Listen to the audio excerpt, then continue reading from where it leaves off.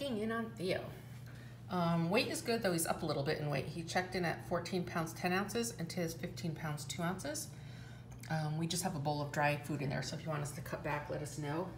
Pooping and peeing almost every day. He skipped Thursday for some reason.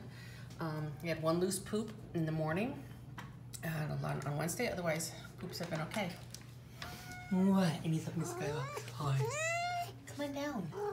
Come on down. Come on down. He's a good boy. Boom. Hi. He's a good boy. Little button nose. Where are you going? All the way down. All the way down. Where are you gonna go? Escape?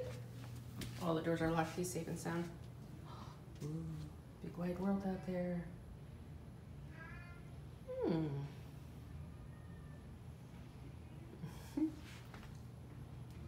He's a good boy. He's a good boy. Yeah. All's well.